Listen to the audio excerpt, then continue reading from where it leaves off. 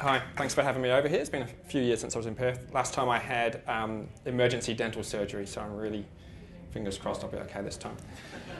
Um, uh, yeah, so as Anthony said, I used to work at THQ. I worked at THQ for seven years. I actually used to head up marketing for Asia Pacific before I moved into the studio side of the business last year.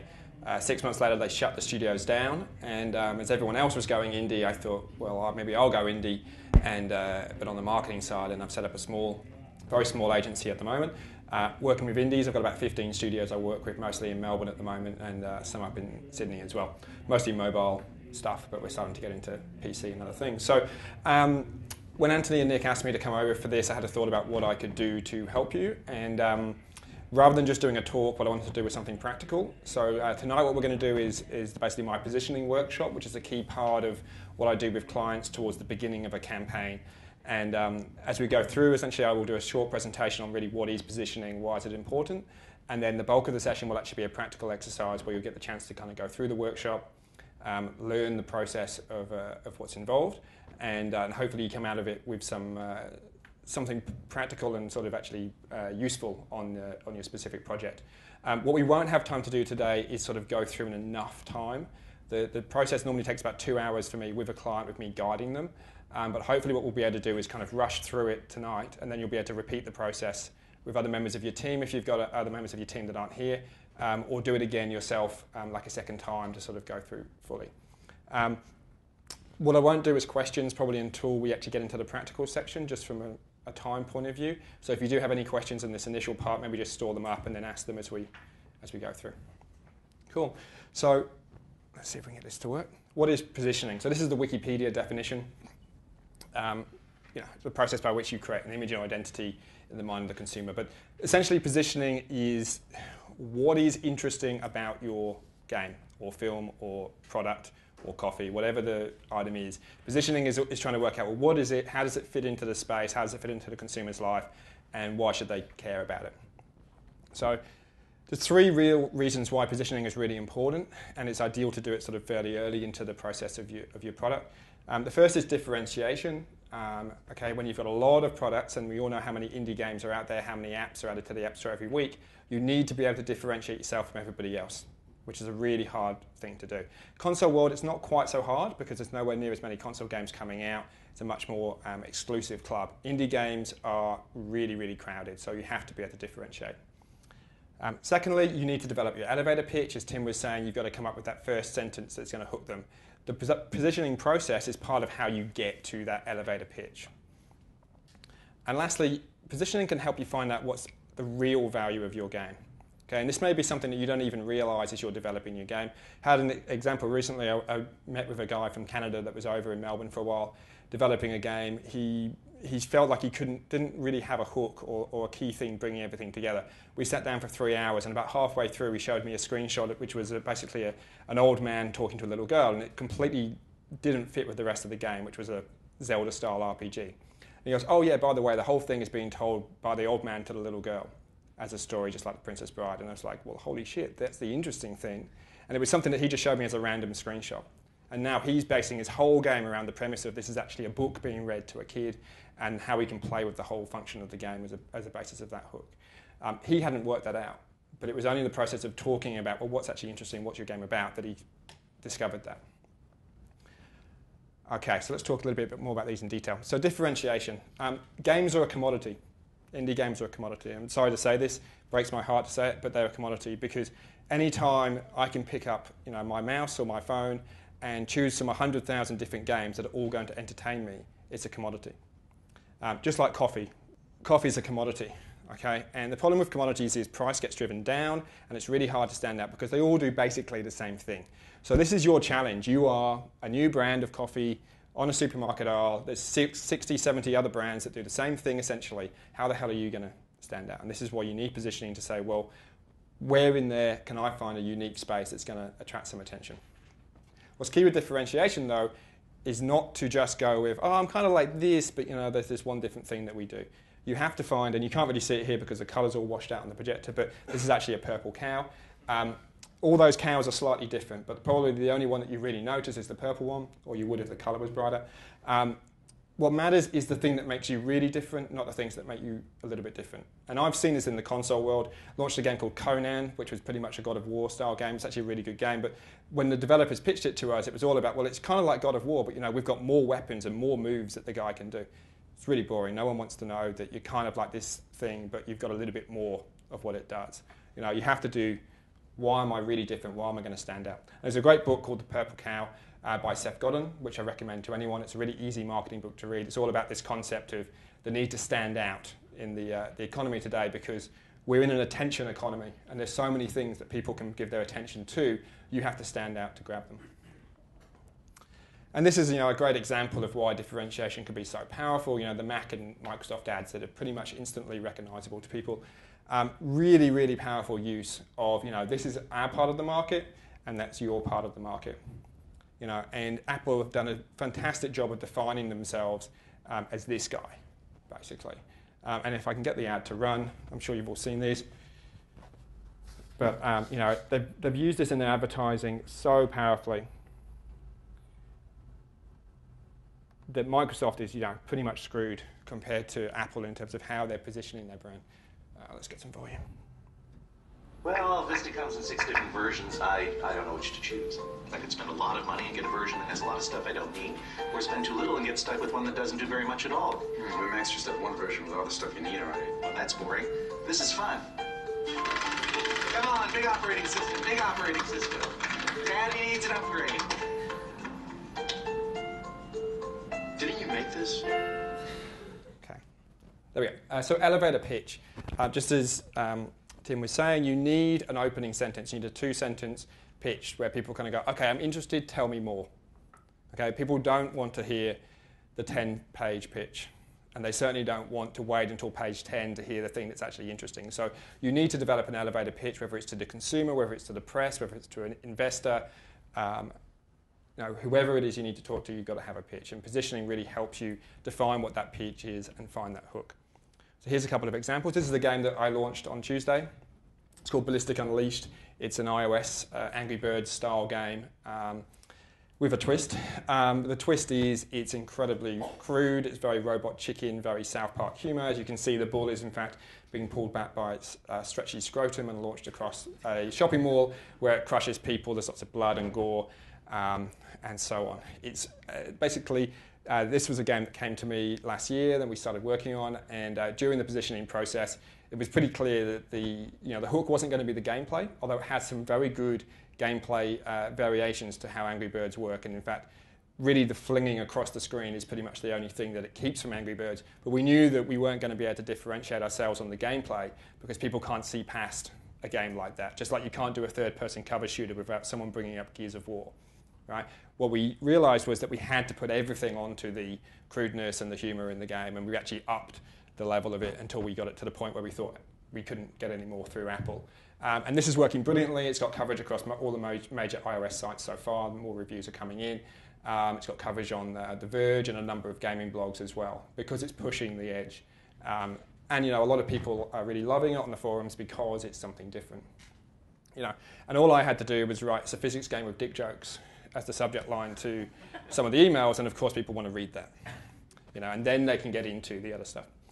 Um, here's one that's a bit more highbrow. This was a game we launched in February called Super Lemonade Factory, which is a sort of 8-bit uh, pixel art platformer. Um, the key hook is that you have two characters that you switch between, and you have to use both of them to get to the end of the level.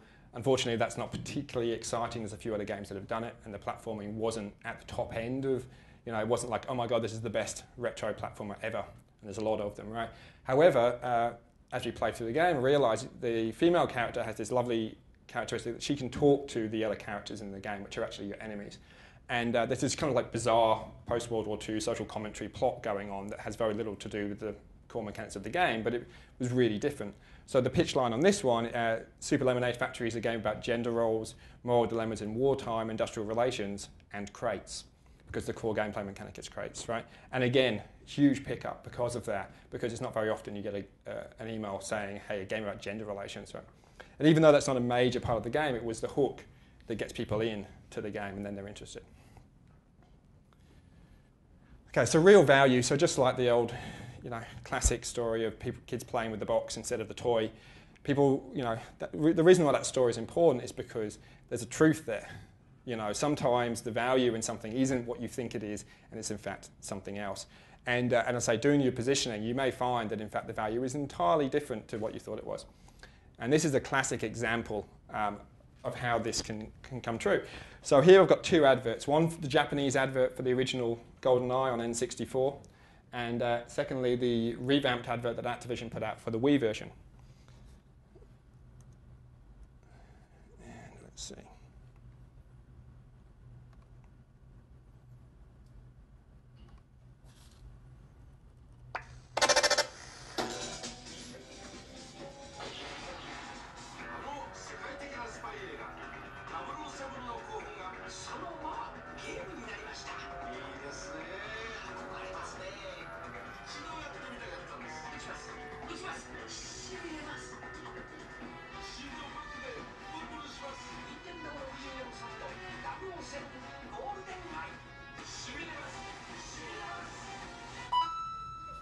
Okay. So if you had to say, what is that ad selling you on? Selling you on. Anybody?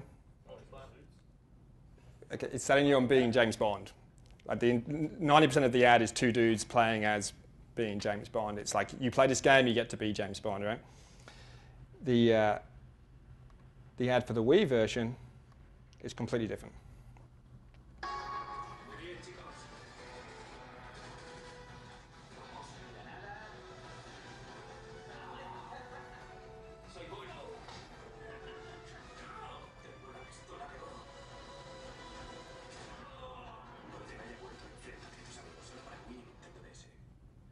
So that ad is selling you on, yeah, the multiplayer, right? What was the real value in that game when it came out? The multiplayer, right? So originally they didn't know what they had, and of course the second time around they knew exactly what they had, and it wasn't about, you know, even James Bond. It was hardly about any of the gameplay. They're selling you on the experience that you get out of it, which was you sat around on a couch with three of your other mates playing a game. So what we're going to do for the workshop is uh, basically work through the sheets that you've got there.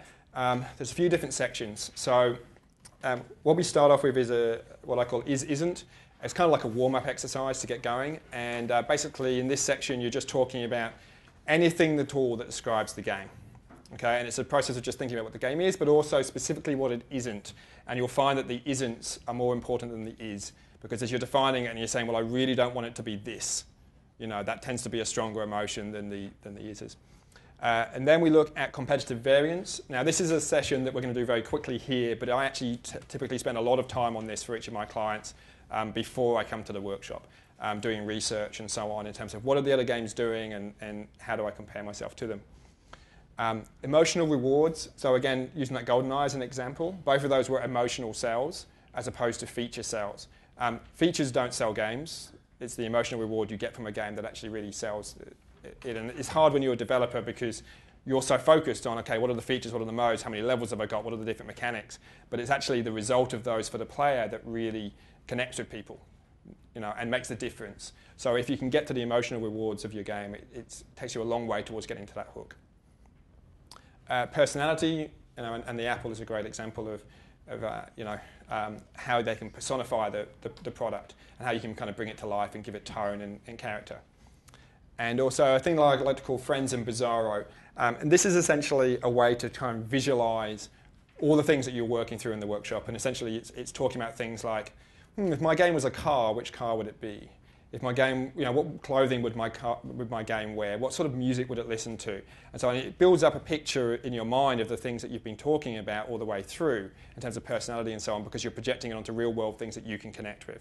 And what you get out of that, importantly, is kind of like a visual board because you just go to Google Images and grab all the images for those things, and you have a very clear representation that you can kind of connect with. The, the, danger of all these things is you write down the word, but the word can mean a whole bunch of things, so it's, it's good to kind of bring it out into real life. Um, and then finally, at the back, there's kind of like a summary where you just bring together the top messages out of each of the sections to kind of uh, bring it to a whole. So, what we'll essentially do for each of these sessions is spend about 10 minutes um, on it, just individually, or if you're in a team here, then uh, definitely talk about it between yourselves. Um, and then what I want to do is spend about five minutes in each of these sessions with you just sharing it with the person next to you so that you can uh, get a bit of experience of seeing what they've written, what you've written, and so on, and talking about it. Um, as I say, what I, what I should suggest that you do after this is maybe give it a week and then come back to this exercise, go back through the workbook. If there's other people in your team that aren't here tonight, then definitely involve them. Or if there's other developers that you know or other friends, get them involved because a group discussion is always better than just sitting there by yourself doing this, right? But hopefully, what you get out of this is um, the process, the tools. It's a very simple process once you've done it once to repeat. You don't necessarily need a lot of expert you know, knowledge to do it. What I'll do on each stage is basically introduce it, explain what to do uh, with the worksheets, and then if you've got questions, shout out and we'll do them. And then during the, the 15 minutes, I'll come around and, and chat to you guys as well and just sort of see how, how it's. Okay, so is isn't, as I say, um, it's basically this can be anything at all that describes the game, but some example things you might want to think about. You know, what hardware platforms is the game on? What distribution platform is it on? If it's not a game, you know, how is it being delivered to, to people? Uh, what's your business model? What genre, mechanic, input method? Um, what sort of meta game is it? Is it like an endless runner, or is it level based, or is it a multiplayer game? Is it cooperative or competitive, and so on? Um, what age rating are you talking about? How are you actually developing it? You know, for example, are you designing the whole thing on paper and then building it, or are you building prototypes and iterating? Um, you know, is the, the team is the team here? Is it one person? Is it ten people? Is it you know distributed, etc. Um, what art style, narrative style, style of play experience, or any, anything else that you want to put in there that uh, you feel is important about the game, and anything which you feel it definitely isn't, and anything that you definitely don't want it to be. Okay, so um, we'll go for 10 minutes, and then I'll let you know 10 minutes is gone, and we can you can talk to the person next to you.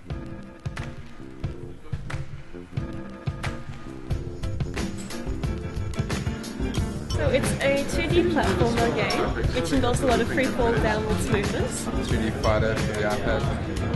Uh, okay, so it's a casual physics-based platformer um, where the world comes to you. Like you don't go anywhere in this platformer, the world just comes to you. Well, we worked on a game for Ludum Dare, which is a 48 hour game making competition. Uh, my one line pitch is uh, dismembering zombies with Olympic sport equipment. Okay, so the next section we're talking about is competitive variance. Um, so competitive variance is basically all about looking at the competition, any kind of reference game. So it could be a game that's inspiring you. It could be a game that you know is directly doing a very similar thing to you. Basically, any game that is going to come to the minds of the consumer when they're playing your game um, is an important reference point for you because they're going to be interpreting your game through that. Uh, and basically, competitive variance is really just looking at those games and saying, okay, what is it in my game that I do more of than them or less of than them? What's different? What's new? What you're really looking for is the one thing that really pulls you out, that makes you so different, the purple cow moment, essentially. Um, so this, this exercise is basically what you need to do first off is just look at some titles that you know are comparative titles. Um, and then thinking about those titles, um, basically on this side, you're looking at, okay, what are the things that I do more of? So um, say, for example, um, it was a game that only had five levels. But your game's going to be the same thing, and I'm going to do, hey, I'm going to do 50 levels. So I'm going to give people the same kind of experience, but I'm going to give them a massively larger version of that experience, right? Or maybe it's, you know, I'm going to give them a lot less of that experience. I'm going to have um, less complicated, less mechanics to deal with. It's going to be a more casual version of that experience and so on, right? And then start thinking about, okay, but, you know, within this genre, what is the thing that I'm doing differently? So it might be that, you know, you're an endless runner game, like a temple run, but, you know, I'm using weapons as well as just running. So I've got an additional mechanic there that, that's being involved or whatever. Um, and hopefully, what you get out of this is a bit of an idea of okay, what are my strong points? What are the things when I'm talking to people that are really interested in this kind of game? What are the things that I'm going to shout about? And which are the things that perhaps, you know, that just, you know, I'm doing them, but everyone else in the genre is doing? What you're going to be able to do today is a very small part of this section. What I would encourage you to do, like I say, is, is download all the games that are similar, research them, and do, spend a lot more time kind of um, doing what I call is like a genre analysis and trying to figure out, well, what are the trends within the genre and then how do I stand out from there. But at least today you'll, you'll get a chance to kind of, I guess, start on this process. And this is definitely a section to come back to once you've done that research and have a shot at.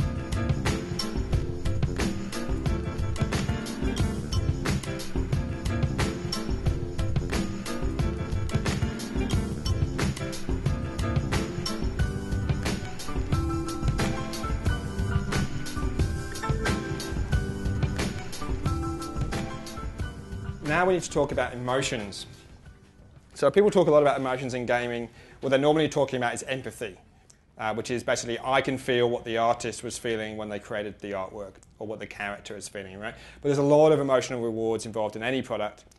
Um, and these are just a few of the ones that you'll find in gaming.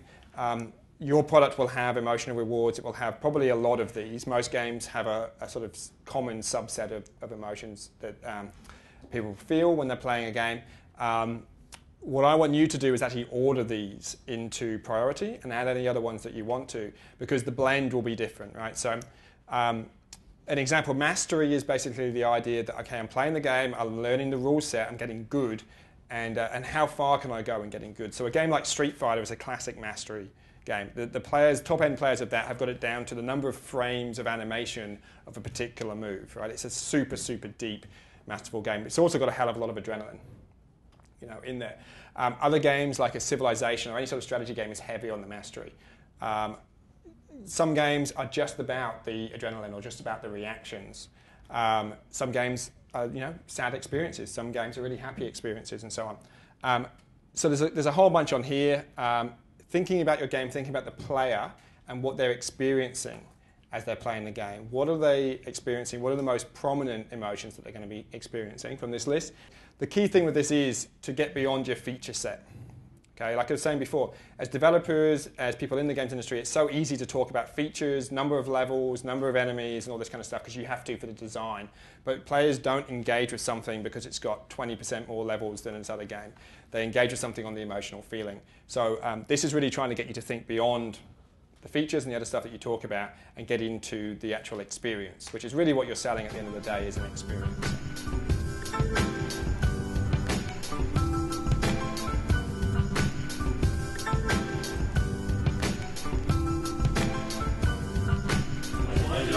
Found it interesting like, thinking about the game what emotions people are having because I never really thought about the game from that point of view. It's just an interesting idea that we had zombies on Google Maps and we sort of created something around that.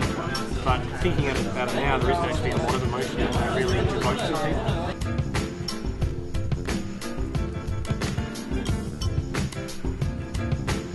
Mentioned a lot of programmers don't think about this. Um, however, that being said, we probably have them as a subconscious thought. Uh, when we design the games, we always design them with certain achievements in mind or certain uh, goals. Um, and then looking down the list and actually finding that my game and the genre itself actually fits into a lot of these categories. Um, fingers crossed I can implement it. Uh, personality. This is a pretty straightforward one. Um, again, Apple versus Microsoft. This is the classic example of, of personifying their brand. Um, so in this section, it's all just about thinking about what are the personality words that describe my game. Is it happy? Is it sad? Is it angry? Is it obnoxious? Is it in my face? Is it quiet? Is it unassuming? You know, uh, there's a million personality words, which is why I haven't written any up there. So we are going to do this one quickly because it should be pretty straightforward and easy after the other ones. Um, basically, it's just about listing them down on the sheet. But then what you've got to do is say what are the top three. If someone met your game in a bar and walked away, what are the three words they'd use to describe the personality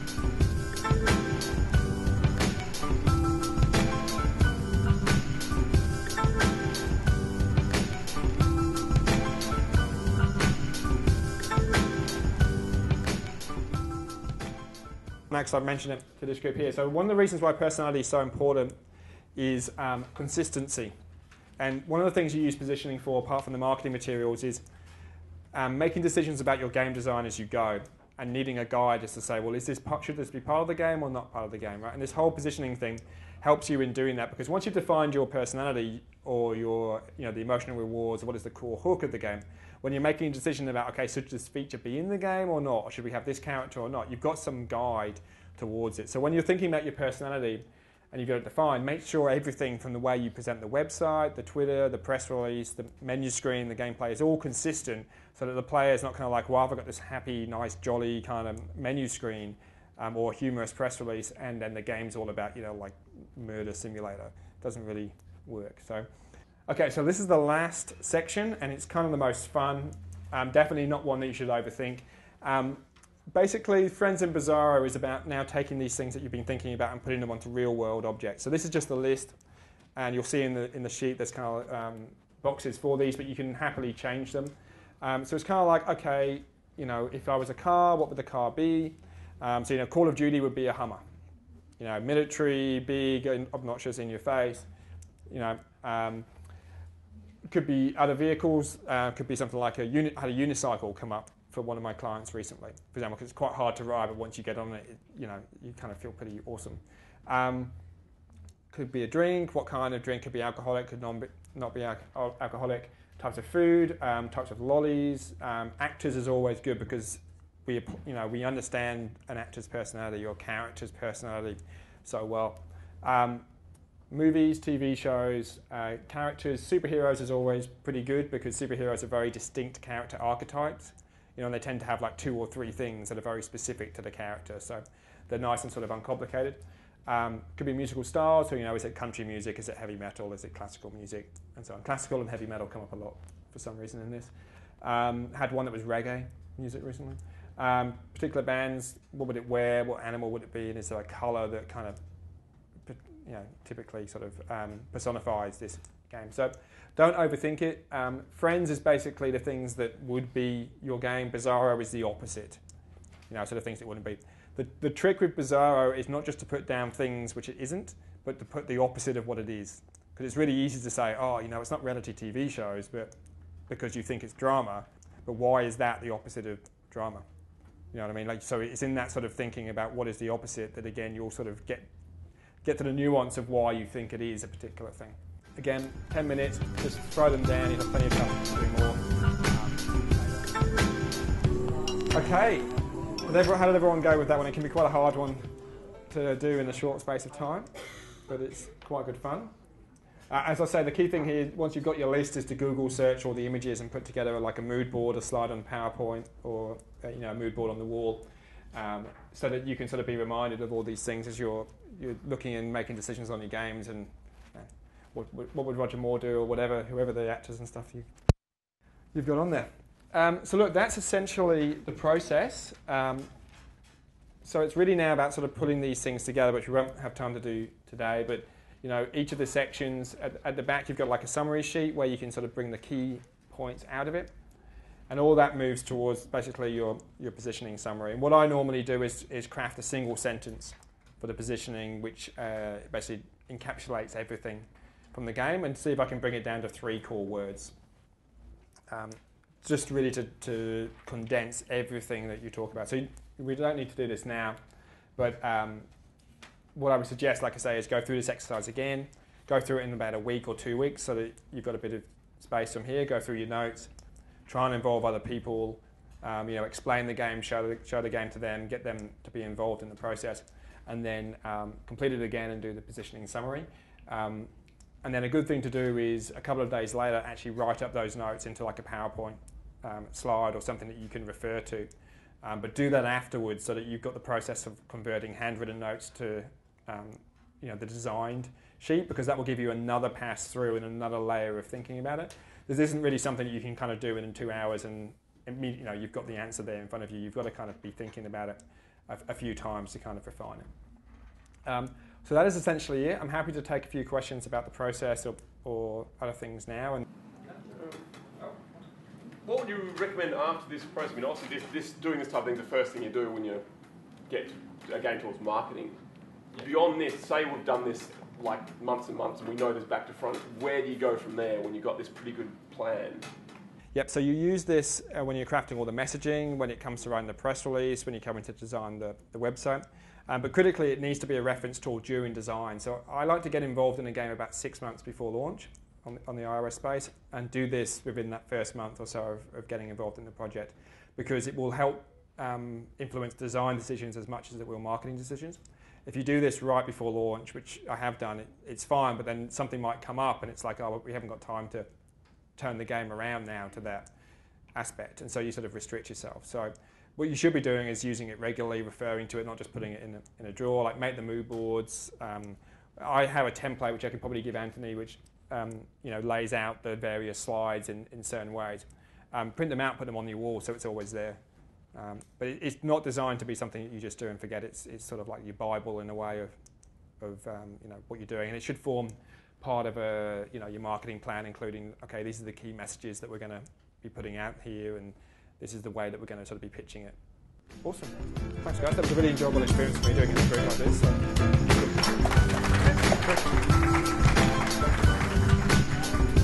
Good. Um, it was really good. I really enjoyed Tim's presentation. There was a, a few good things that he, he reinforced there, and a few, a few new things that I enjoyed, especially some links to places like Game Press and all that. So I'm going to be looking into that when I get home. And then suddenly, when I got to the end, I started realizing what I was do- doing was defining my product that I like I wanted to make, and especially that, that word exercise, wo- working out friends and bizarro. Um, suddenly, and also the three words that be, um, define the personality of the game. Suddenly, I understand to a certain degree what marketing companies do to brand a product, how to sort of give it a personality. Instead of actually thinking about uh, you know marketing games, it was kind of like trying to figure out, trying to put your game into perspective and relate it in such a way that you could easily kind of um, imply what the game, the, feelings of the game, and how they actually relate, and how can actually you know give the connotations to someone by using reference. So it was really interesting concept, and um, I'd like to talk into a little bit more when I get home. The workshop was very good for having a look at, you know, the target audience and, and the design of it. But given that most of my design is essentially done, uh, it was the marketing and the contacts that I really want to pick up from this. So I've got emails for Tim and for Chris, and I'll definitely be giving them a call and hitting them up for some help. Yeah.